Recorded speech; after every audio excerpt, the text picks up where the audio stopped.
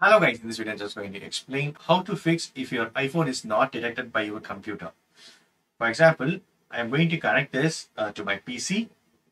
So here I'm just trying to connect it to PC. And first I need to unlock it. It's charging. I need to unlock it.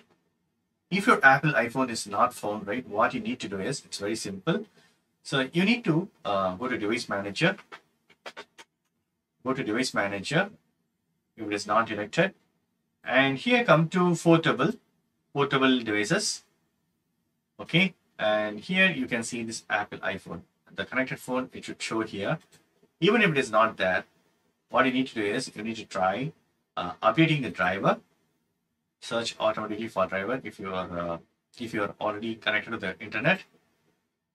The best drivers for your device already installed. So if it is not there, right, what you need to do simply, uh, first right click and you can uninstall device.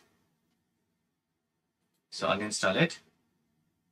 So uninstalled. Now it is removed. Okay. Now the device is removed. Now you need to unplug the iPhone from your computer and reconnect it. Okay. I'm going to reconnect it. First unlock your iPhone okay? And now i'm going to verify that portable devices.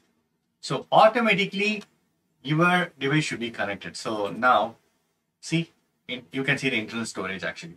Even if you're not able to find your devices after uninstalling the device you need to just restart your pc and then connect it and unlock your iphone. Okay? Do not forget you need to unlock your iphone once you have connected with the wire so this is the way you can simply fix the issue if the internal storage is not found, okay, on your PC.